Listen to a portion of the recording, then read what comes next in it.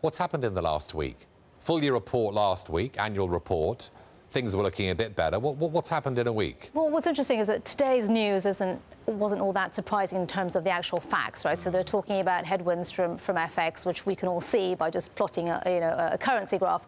But I think what was um, perhaps surprising to investors was the different tone that has emerged from that. So, you know, a week ago, as you said in the annual report, you had a, a very optimistic outlook for trading business in 2018, so looking well beyond the first quarter.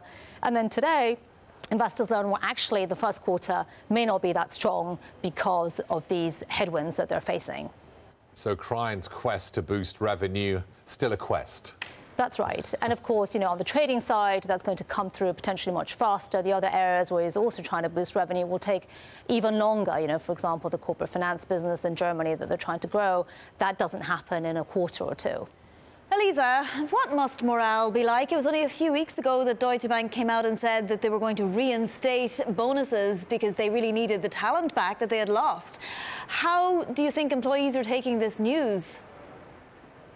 Well, I think you know the, what we have learned on, on compensation, as you rightly point out, is that you know the investment banking business there has been rewarded, and of course management took the hit uh, by waiving their own uh, variable compensation, and of course that will be a strong message to to the bank that um, you know they're investing in them. So you think morale is, is going to be okay in spite of this news? I think what's interesting today is the uh, the read across to the wider industry from the, the trading comments, not just from from Deutsche Bank, but um, the Credit Suisse CEO uh, Tidjane Thiam. He also made some remarks that were a little bit more cautious on the first quarter and the trading business. He talked about a very strong January, a February that uh, that was um, was rather mixed, and then a, a, March that is a bit you know all over the place. Mm. So putting some you know some caution there on the trading business in the first quarter.